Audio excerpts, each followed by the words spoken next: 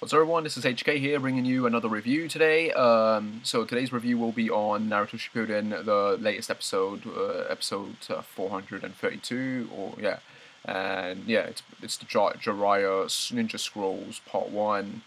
Uh, before I get started, let me talk about the new opening that came out. Uh, the new opening, yeah, I I liked it for what it represent, you know, for what it was, but yeah, it wasn't very action packed. It was it was pretty much it was it was very slow and it was trying to be very emotional.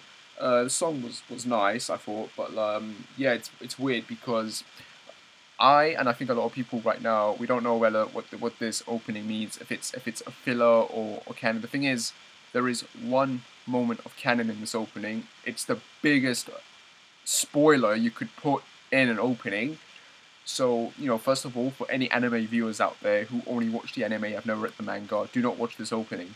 Trust me, do not watch this opening. Stay away from it. Stay the hell away from it because that one shot in the anime, uh, in, in the opening, is going to totally ruin uh, the anime for you later on. So do not do not watch it just just for that one bloody shot, which is a great shot, but yeah. Um, so yeah, let's let's actually talk about how it starts. It starts with uh, a bunch of characters actually. It starts with Mito first. Mito, you know, Hashirama's wife. Then it cuts to Rin. Then it cuts to um, I think I think it cuts to Lady Chiyo, uh, Jiraiya, Asuma, Minato, uh, Nagato, Itachi, Neji, and Kushina, and they're all trying to grab this sort of ball of light that's just like in the middle of it, like you know. Um, yeah, just just fast cutting to all these dead characters who obviously had a very large importance to the series because they were they were pretty much like main support in characters that pretty much died and had a large impact on a lot of the main characters in the story. And then it cuts to Naruto, and you get flashbacks like uh, from Naruto Part One and Two, maybe. I wasn't really paying attention, and he's, he's like a little kid, and he's growing up, and he's growing up, and he's getting to his Shippuden days, and he's trying to grab that ball of light and he can't get it.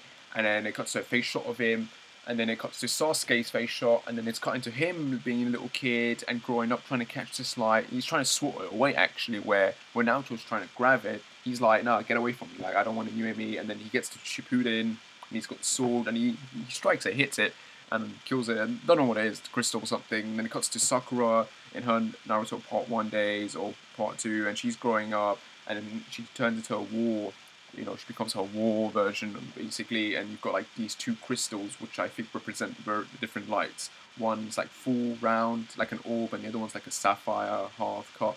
I think that one's Naruto and that one's Sasuke, you know, and yeah, and she's crying like she like she does in all the openings, always crying. And then we get to the spoiler part of the opening. Um, it's um, it cuts to Madara trying to grab this light, and then you've got a fist going through him, through his chest, grabbing that light, and he's like, Ugh. and then you've got Kaguya coming up from the shadows, grabbing him, and just like, oh, smiling and creepy and stuff, which was pretty cool. But like, what the hell, guys? Why would you put that in? What's wrong with you? Like, and then yeah, that's the part of the opening that confused me a lot because, yeah, it's just weird. Oh, I forgot one thing. Before Madara, uh, between Madara and Sasuke, we have Kakashi and Obito, and they're growing up as well, but they're like side by side, and then face shot, and then Madara and Kaguya apart. So from from up to there, it, yeah, it's it's just a lot of filler stuff. But then I don't know the way it's structured. It's just a bit. I'll get to it in a minute. I'll get to it in a minute.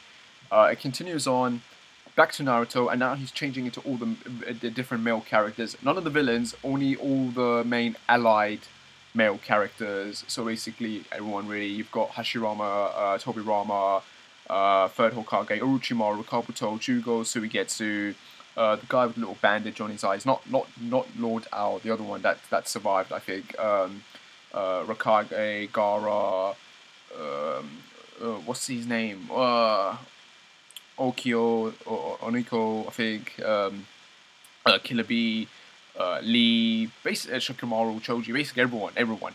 And then it cuts to Sakura reaching for that light like in midair, and she's turning into all the female characters where there isn't a lot of them. It, she turns into Hinata, then it's uh, Temari, Tenten, I think. Uh, you got Tsunade, and then it ends with Karin, she grabs it, and then a bunch of shots of hands reaching, trying to grab that light, and then it cuts to Naruto. It ends with Naruto finally grabbing that light with one hand, turning the camera whatever, like, and then it just ends. And yeah, that's the opening. Very, very simple, very quick, very slow opening, and confusing because on one hand we don't know whether this means we're going to be in for a lot of canon or we're going to be in for a lot of filler. Now, the the reason the way this opening is done is so it doesn't spoil what's going to happen, but then that doesn't explain why when you show Madara and Kaguya, you got that little spoiling part in there. So, what's interesting note to, what's interesting to note is is that it's it's showing you know the main characters who are growing up. Those are uh, Naruto, Sasuke, Sakura, and Kakashi and Obito, and those five characters are very important, or are going to be very important about what's in what's about to happen once we get to canon, along with the Madara and Kaguya part, obviously. But then the rest is just kind of like showing all the different characters. Now, now I kept hearing rumors that this was meant to be the last opening. Is it the last opening? I don't know. It's got it's got the kind of feel you would use for a last opening, really what with what the emotional kind of music and slow pacing that it's going for. But then I don't think it is. I think this this the, the anime is gonna continue on throughout next year. But then the filler part is the big question. Like, is it gonna end this year? I'm starting to think it won't. I'm starting to think it's gonna go on to next year now, just because like yeah, there's there's besides that one shot and the characters they've chosen, there, there really isn't a big clue or hint at what's to come. So that's that. Uh, the episode itself, um, the episode was weird. It was a filler within a filler, if that makes sense. So it's very weird. It was a very good episode, I mind you.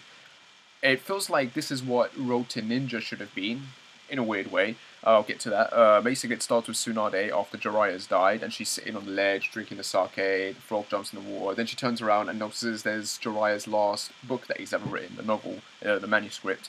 And we get a flashback of him saying, "Once I finish this, you're going to be the first person to read it." She starts reading it, and we cut into the story, what it is, and you know, the story is very weird because is this something that he made up on road or is this something that's going on? Because if, as everyone knows anyone who's read the manga in Tsunade's dream uh, Dan is the Hokage.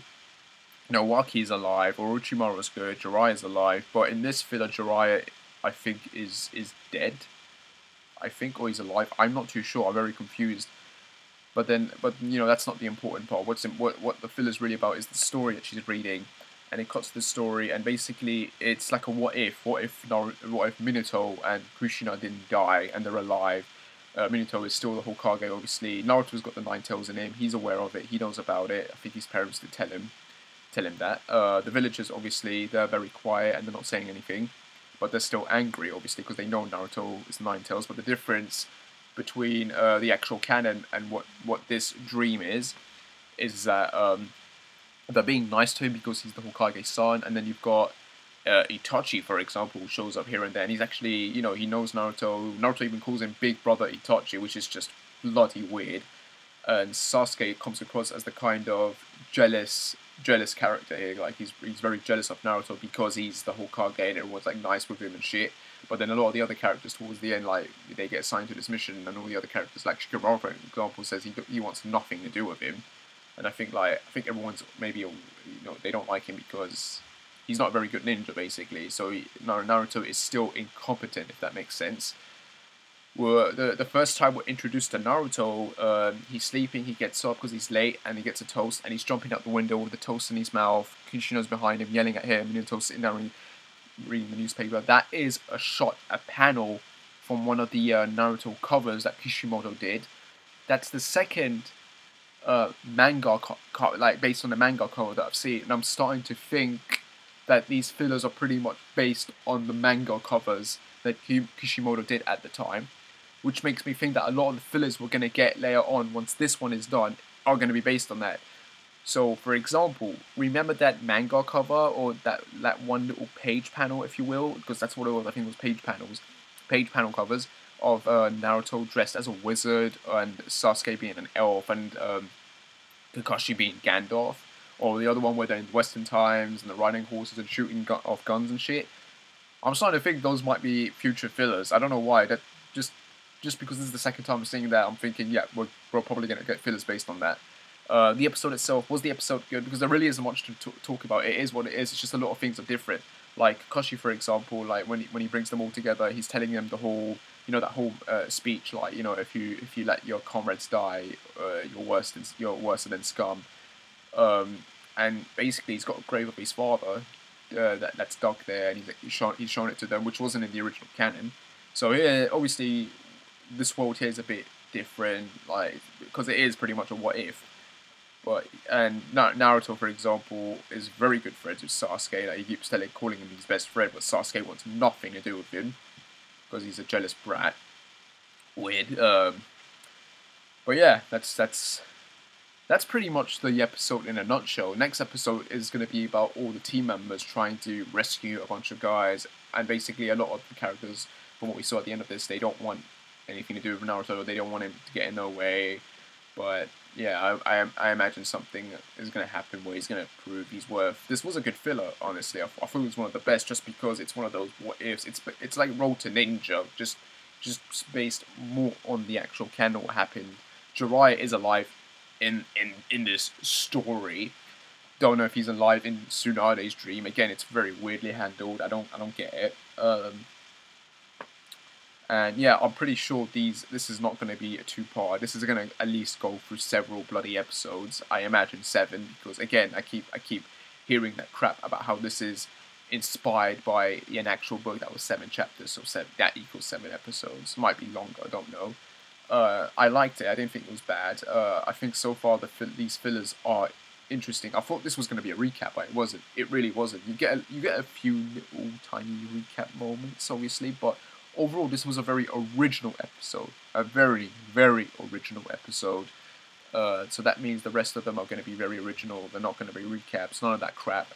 But yeah, so far so good. I'm liking I'm liking this Infinite Tsukuyomi arc, if you will. I thought last week's one with Karin was very interesting, very good, and worth watching. And this week's one is isn't as bad as everyone thought. If you liked Road to Ninja, you'd probably like this because it's kind of the same thing.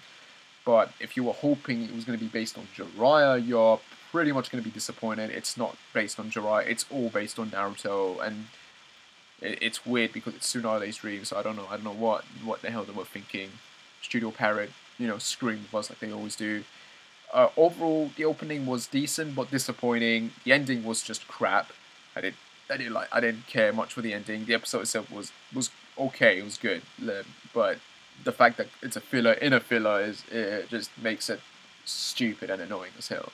So yeah, there's that. Overall, it's worth a watch. I'd say watch it and then make up your mind about whether you want to watch the rest because this is gonna go on for a while. But yeah, that's that. Anyway, like, subscribe, whatever, and I shall see you when I shall see you. Take care and bye.